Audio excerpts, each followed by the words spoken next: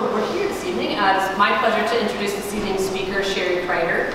Sheri's here tonight as an artist curator from our spring exhibition, Other Targets, which is just downstairs in our main gallery. Other Targets is a group exhibition and multimedia installation by the artist Sheri Crider, uh, Janae Sanchez, uh, Gabriela Munoz, and Shantina Vernon.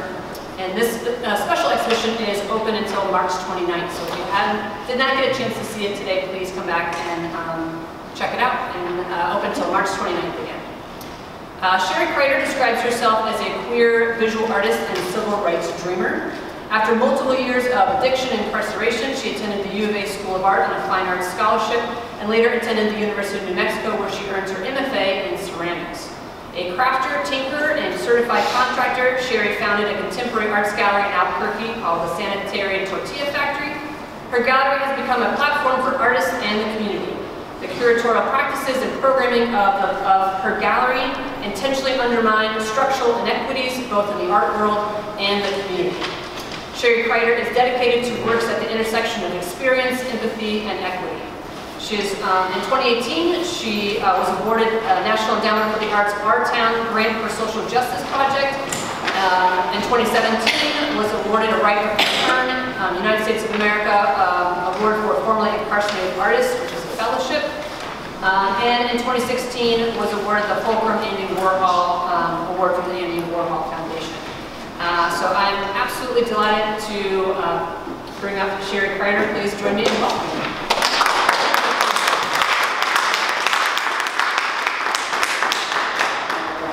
Okay, hopefully. Hi, everybody. Thank you for, not too loud. No? We're good. Okay. Okay. Um, well, thank you for coming, and um, it's such an honor, don't touch that. it's such an honor to uh, have an exhibition here and be able to speak here. It's um, one of those moments where it's this full circle that um, you can't even really put words to it. Um, so, and um, one of my former former faculty members and instrumental instructors are Marcia Bose here in the front, and uh, it's just you know, and, and my story and about my artistic practice is a little different than some stories I I would think. Um, so, um, and I. Uh, when I uh, came up with the, you know, what I wanted to talk about in the talk, I picked this phrase, and this phrase uh, is uh, used in improv, and one of my dear friends that does a lot of cultural organizing uses it when talking about best practices in arts, in politics, like it's, and I've found I've incorporated it into my life. Like it's a much better way to have a conversation. And um, so, let's see where we are. So we were going to do a little bit of improv just to kind of like really, uh, you know, embrace this yes and concept.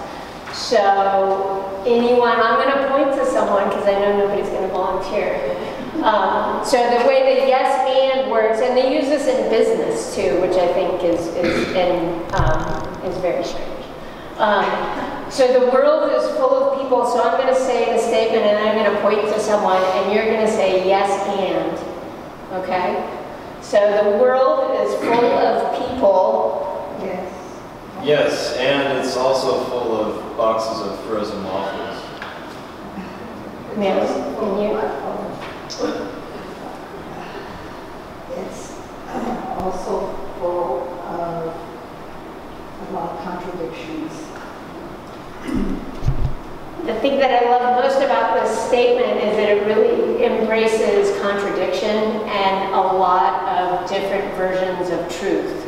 And I think that the things that I make and that my artistic practice has been a place where to sort out my um, my existence, you know, in the backdrop of being a small child and reading a storybook about this is how life is. We have children, we grow up and we have a job and we just live this happily ever life, you know, until you're older and find out there's a lot of uh, inconsistencies in the story.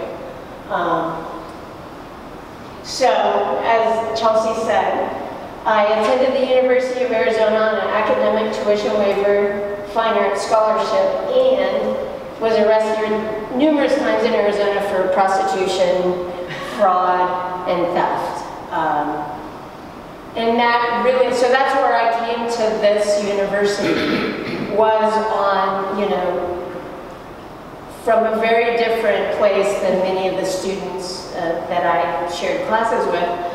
And I remember, I was in the honors program, and I remember very distinctly sitting in a criminology class.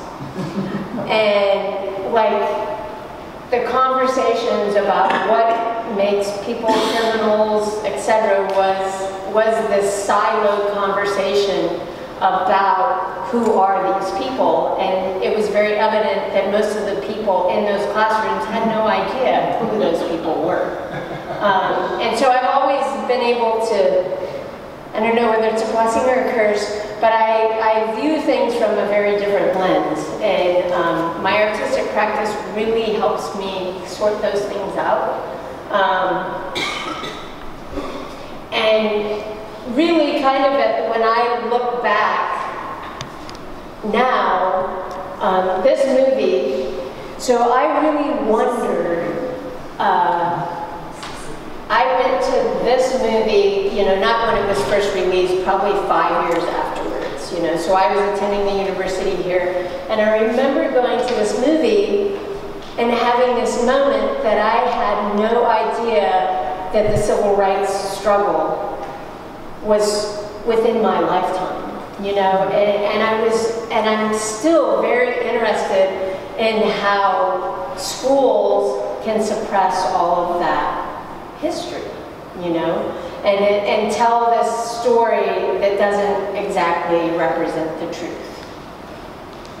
And so, you know, my, um, and I read a lot, uh, and it's so interesting, like all of the people that I used to read um, in queer theory classes here still resonate. People are still pointing to Audre Lorde, James Baldwin, Adrienne Rich, bell hooks, you know, and um, they're just, uh, I, and I really like, you know, this idea of truth being more of, you know, it's, it's nothing that we can really put our finger on like this is the truth. It's a lot more complex than that. So we do not need to master or conquer the narrative as a whole that we may know in fragments. And so I think that many of the things that I make are about those fragments of truth. And this is me graduating in 1996. And um, just really, you know, I met with a lot of graduate students today, and it was so interesting how everyone is really um, kind of deconstructing their family histories. Like it was so interesting to see that in so many of the artists that I met with today, that that's, you know, it's, it's part of people's practice. And mine is, you know, I was adopted and there were all of these different truths. I was told all these different stories about who my family was. And um, just a few months ago, I got did one of those Ancestry.com things. And, um, you know, all, so many stories. Like I could spend um, so when I was here um, making art, um, I was very much into kind of uh, deconstructing my lived experience um, and the public experience, attaching my unusual experience with public corners and spaces. Um, I don't take, it's funny, I don't talk a lot about the things I make. So this is, uh, this is the most recent thing of, uh, on the right is a letter that I received describing who my biological parents were. Um, that my father's a truck driver who's already married, and this whole thing. And I met my mother in 1995, my biological mother, and she told me this story about who my father was, which I thought that's who he was, but indeed it wasn't. Via this uh, uh, Ancestry.com, Mike Hancock is my half-brother, and um, this was just a few months ago that I received this kind of startling information. And he is one of three children. They've been married for 63 years, so I'm a product of, of fair and um, and none of that family kind of wants to deal with the truth. So, so right when I was um, ruminating about what I was going to talk about, and I painted the one painting downstairs, you know, can we start with the truth? It was just kind of this moment of we were doing uh, the impeachment hearings were going on. Like there's just so no truth to be found anywhere, um, which is very disturbing. Um, So, um, in all of the work downstairs, I am really starting to become obsessed about history and how we seem to be recreating, like everything's new, like, uh, you know, Scott Warren, this was like a new problem. And many of us know um, so it's this present tenseness of whatever political theater is happening at the moment. And um, in all of the pieces, there is this kind of look back to history in, um, in a conversation. Um, so, and when I first started uh, thinking about this exhibition, and I had done two proposals, the other proposal was about the environment and environmental work. And um, one of the things that I was shocked to find when I was like, you know, I've lived in the Southwest for a very long time, was the lack of water. And, you know, it's always kind of been a thing. But I had no idea that water conservation, like this conversation and environmentalists were, you know, wanted us to conserve water. And um, I have found, alright, you guys might find this video a little entertaining. This is an early water conservation video.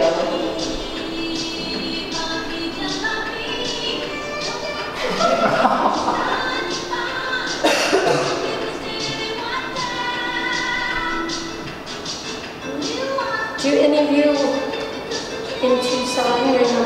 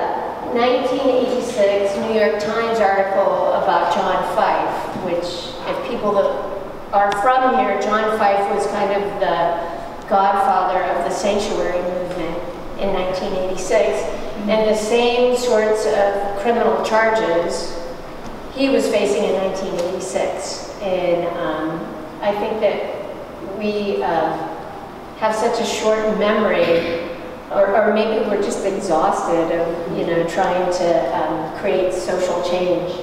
Um, So the piece downstairs, the video piece, um, has this newspaper clipping, and I just wonder, you know, I, a lot of my work are, uh, kind of creates scenarios where I can kind of hypothesize what might have made us more empathetic, or how could we transform culture. And um, so the video, you know, and they all, all go to the trouble of making it, and then realize that, you know, it's kind of a lost cause. Um, and um, so how I, uh, a, a lot of people have asked me how I kind of like became um, interested in, in talking and, and looking at immigration. And um, right when I received that fellowship for, uh, what was it, the, the fellowship funded artists to create works that were attached to criminal justice reform. And so when I'm living in New Mexico, there was a lot of things happening with uh, this detention center, which is about a 40-minute drive from um, Albuquerque. And thinking about being incarcerated, you know, it's kind of like the most dehumanizing experience a person can have but then add an additional uh, layer of not knowing a language, not knowing where you live. I just can't even imagine that experience. And having, you know, you, when you're incarcerated, you feel like you don't have any rights anyways. But then being, like I can't imagine that situation being worse. And it is worse for people from another country. They don't have any resources. And, um, and then this specific, uh, the Cibola Detention Center is, uh, it's the only transgender uh, pod in the country. So they're shipping transgender people from West Africa. Like when you look at the people that are detained at this facility, it's just, I can't even put words to it because um, you know, and I always think of, of these environments, like everything, all the racism, all the uh, prejudice and bias that exists in culture in these institutions is even like it's on steroids. Like, so I just really, uh, and, and the, the other thing that, you know, so I just, I make a lot of work about these things, and I'm just like, how does how do these things keep happening? And you know, um, most of my work, most of the stuff downstairs starts tracing the money, and um, people are profiting a lot off of all of these kind of terrible things that are happening, um, and um, so I'm making that work, and then I, uh, I really enjoy, you know, you can only make art by yourself in isolation for so long until you really have to like talk to other people. And um, so I do a lot of work uh, that's community engaged, and uh, so these women are at a, it's a parole program called Crossroads for Women. And so I worked with them as a part of this project. And that facility that's now the transgender, you know, pod for the nation was once a women's prison. And so all of these women have, most of these women have been in that prison, but they have no idea that it's part of this larger, you know, story about mass incarceration. And um, so we made, uh, this was an exhibition at the University of Arizona, and we made lots of birds, and you know, there was a metaphor about flight, and um, so that was kind of like my spiel about my work, um, and how I curated this exhibition um, was that the things that were really important to me is to have uh, intergenerational and um, intersectional conversation about being other. And what made sense regionally um, so Janaea, Janaea was uh, in an exhibition that I curated at my space, and she lives in um, Douglas, and this is a video that she had, it's Ring Around the Rosie, so they're doing, you know, and this is pre, now it's all kind of hip and trendy for everybody to be like making seesaws on the border, and, you know, she's been doing this kind of work for a while now, and um, so she, and, and the portraits, so this, the large portraits of the women um, were in my gallery, but they were really small. So I can really, the power of that work was amazing. And um, so she was a perfect person to um, include in this exhibition.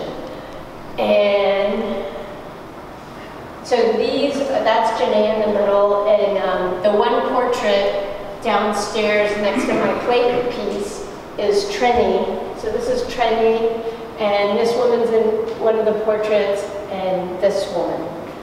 And um, in December, I went down to the Dougla Prieta Works community um, organization, and it's just, so like, you know, I, I enjoy making art, but in the end, like, it's about the people. And um, these women are doing amazing things, you know, with very little resources. And that was another really important tenet for me. Like a lot of the things that I do uh, in Albuquerque is, it's really, I place a lot of emphasis on things being, happening in the real world. Like having real impact instead of just being artworks in the institution. So that's training, the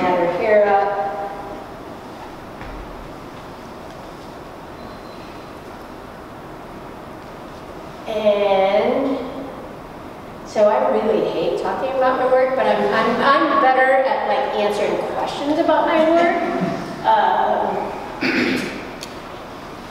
so I think I kind of like tore through that, but uh, this is this is a quote that I take uh, kind of with me, and every time I talk, I think it's really important we're at this moment where everybody's really ready to tear apart everybody. Like, you're either too left or too right, and, um, you know, really trying to find that common ground. This is a quote, it was in uh, Nation magazine, and there was uh, big pushback about all of the stars at the Academy Awards who spoke up about Me Too. And you know, a lot of people on the left were just tearing these women apart, that they had no right, they didn't know. Um, and, you know, we need all of those platforms, I believe. Everyone to find some sort of common space and voice and those kind of phrases like yes and are like such an important bridge to creating coalitions that actually change culture. Um, so I'm not going to read it. You guys can read it. Um, and then I think this is, and I just, uh, this is a, a young woman who's going to have a show uh, at my space in the spring. And, you know, just when I was like, you know, when you just feel like you can't do anything else, you know. I did a studio visit with her and we were organizing for her exhibition. She handed me that and I'm like, okay, it's a message, keep going. Um, does anybody have any questions? Did I just blow through that like in like 10 minutes? Hiding my friend saying yes. Tell us about some of the individual pieces in the show downstairs. For instance, the um, Monopoly houses with the with the call station. Well, so, and, and actually, those things are kind of separate. um, Well, I, I think of them as individual pieces. The sculpture in the front is modeled after a rescue beacon.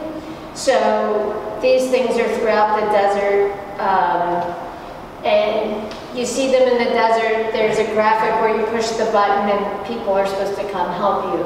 Um, And there's a, some conversation about like if that's a, a, a valid means of rescue. Um, and um, so this piece kind of riffs on that, um, and, and I think of about I think about it in this way that it leads to incarceration. So what happens when these people, yes, they may get some water, but they're going to be detained without, you know, without any legal recourse, et cetera, et cetera. I mean, it's just all over. And, um, and then there's a motion sensor on it that plays uh, four section, four songs, parts of songs that for me represent um, civil rights struggles throughout the decades. There's Woody Guthrie's This Land Is Your Land, uh, Nina Simone, uh, Billie Holiday, and then A Tribe Called Quest, and you know, um, and it emits lavender. So, and that, the title of that piece is called Non-Tactical Monument for Reparations, you know, and, and um, the documents on the other side on the clipboard are the death reports for people that have died while being detained. And, you know, if, if well, if you want to feel worse about immigration, you should go to the ICE uh, website. It's absolutely horrifying. There are like pages and pages and pages and pages of documents that, um, you know, I don't even know what the word, kind of mandate this policing and dehumanization of people seeking resources. Um, and the so the monopoly piece is very much related to uh, the video game that's on the other end of the of the gallery, and um, I'm very interested in how games that we play kind of socialize us in a way uh, that supports capitalism and um, you know kind of the status quo how we're practicing from a very young age about how to you know when you look at monopoly and uh, development gentrification kind of conversation we're taught very young to just the games you know the um, you get out of jail free you know, like, you know, there are all these things that are really disingenuous to like how the world really works.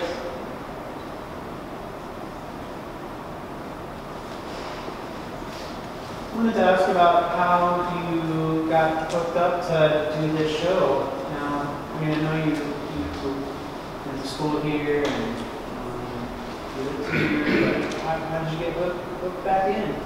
Well, I think it was um, some of the people here saw on Facebook. I had had a show where I did some sculpture uh, at the museum in Santa Fe, and um, just they reached out to me, and so then I submitted two different proposals. Um, and it was like a long time ago. There was a different director. I'd had a conversation with that director and um, early on, I was going to do this environmental work, and between then and you know when we were organizing for this exhibition, I had received that fellowship, and my work had taken a dramatic turn in a different direction.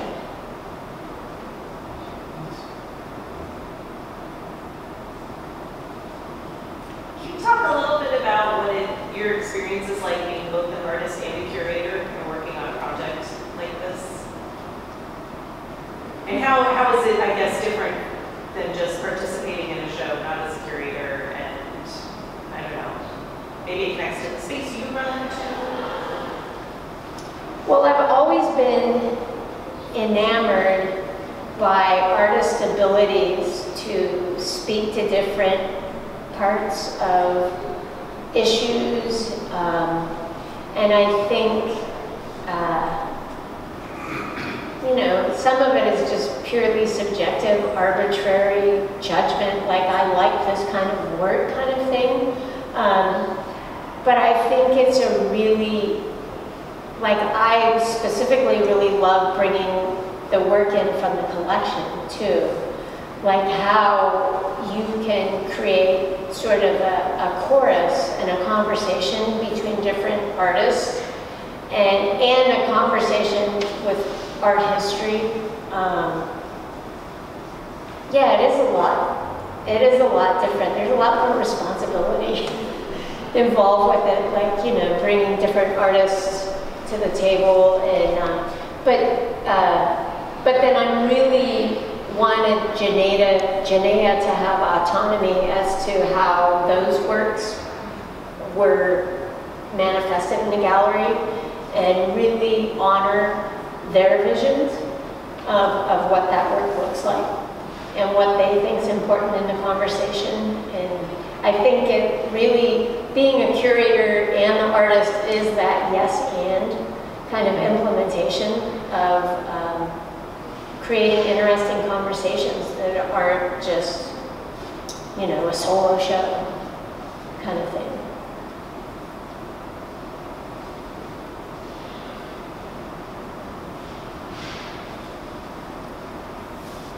So you mentioned that the first proposal was one direction and then you worked in another direction from the fellowship. So where are you going now? The dreaded question, what's next? Where am I going now? That is, well, um, I have a Aurora to thank for this because uh, I made that ceramic piece kind of like, you know, I'd gotten a, my emphasis was ceramics and I remembered how much I loved that material and in making the piece downstairs, I really see um, I'm making another plate piece, uh, you know, that kind of merges. Um, the piece I'm working on right now is uh, kind of like a conversation of Maslow's hierarchy of needs and uh, capitalism, how those things interface with each other via sculptural plates that hang on the wall. So I'm making that, and I'm um, I have a very large um, public art project that uh, will be realized this summer in Albuquerque. So when you guys, I have Albuquerque people that I ran into in the coffee shop this morning, and they came, which is awesome. Us Burqueños stick together. Um, but so I'm doing a, a project where uh, it'll be at the airport, but I'm working with a coalition of artists. Um, we're re-envisioning a 1950s Albuquerque postcard. It says, welcome to Albuquerque. And so all of the letters are filled with these very beautiful places in Albuquerque that don't really represent Albuquerque. And so what we'll be doing, uh, there'll be four youth artists, two system impacted, and two just talented high school artists. And we're going to work as a coalition with three other professional artists to re-envision those uh, images that inhabit Albuquerque. And, you know, we'll be talking a lot about history and how histories are suppressed. Um, and we have two Native American artists. Like, so we really like. Uh, I'm very excited about that. I have no idea like how you know the practical ends of how that's all going to work, but so I'm doing that and um, just taking the next. You know, I think it's a difficult process to be an artist. It's like you know making stuff.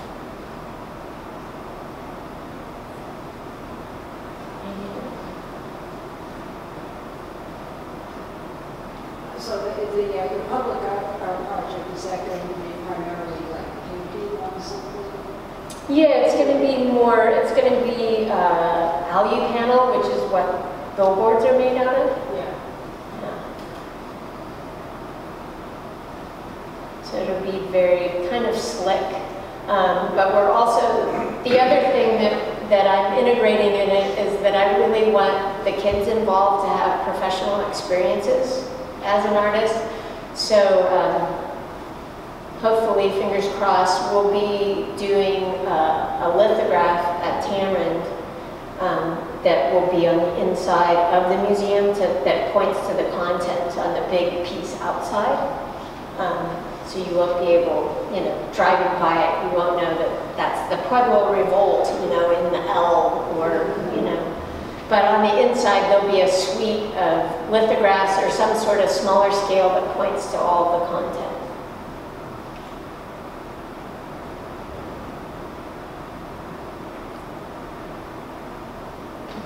Do you have a slide sketch of that? Yeah, the, on my website, there's a, well, yeah, if you go to sanitarytortillafactory.org, there's a call for the student artist on there, and there's an image of it. Yeah.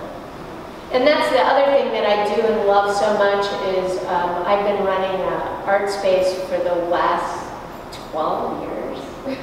Um, and that grew out of, you know, so when I was at U of A, I got here based on that I drew really well and a counselor drove me here and said, you could go to school here, and then I became an artist, you know. And um, so when I went to graduate school, I realized that the audience of art was pretty small, and um, I really wanted to create a space that um, was a platform for community and artists that we could kind of have, um, you know, it could be a much more interesting place. And so we have, if you're ever in Albuquerque, and it's in a historic restaurant that people have loved forever. Um? This is, this is a strange question, but when you're doing art, it's a very personal thing. But then how do you, how do you produce something to, to make it relevant or to make an impact on what we're all experiencing today with division, the people at the border, environmental things? How do you, how does your art um, deliver a message to a, to a particular group of people. I'm just trying to, how do you get the word out there that there's something wrong? You know, Well, up. I think if you don't know something's wrong, you've been in a very curated space. Uh, But I think a lot of people are. Yeah, well, and it has a lot to do with privilege and, and their life experience. Um, I don't know how to, you know, uh, when I was meeting with graduate students, I think that as an artist and someone who's authoring something that is very personal to be in the public space, you have to uh, decide who your audience is. You know, and your aesthetics decides who's a part of that conversation.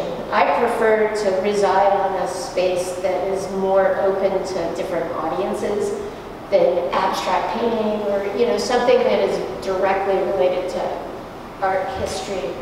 Um, so I strategically um, make things that people will understand as an object, you know. Um, I, I do this, I do this other body of work too. I've still been painting these stadiums.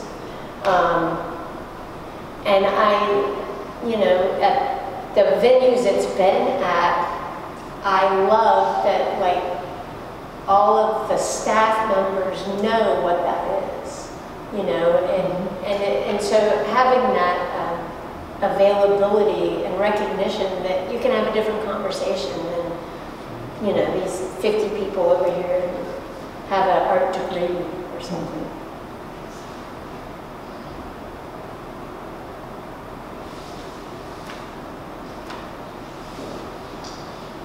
Curious more about um, the place that you have in Albuquerque. Um, what other sort of things do you have going on there? Like, do you have like a workshop space? Do you, do you have like open workshops? Like, um, Or is it, um, I mean, I, I can look it up too. Yeah, so- stuff that's going on. It's not- Yeah, we have a, we have an exhibition program that supports a lot of different entities in uh, Albuquerque. They support Working Classroom, uh, they have, which is a mural arts youth program. I support the graduate art program by having two exhibitions, and then I, you know, so there's an exhibition programming, and then there's 15 studios, um, artist studios, Oh, wow. So, Yeah. okay. yeah, it's pretty big. It's pretty amazing. It's dreamy. Yeah, And a great apartment for the state. Yeah there's an artist in resident apartment, so um, we have uh, an artist in resident coming this summer. He'll be there for six weeks. Um, It's the second time we've done it. Um, Two years ago, it was social practice related.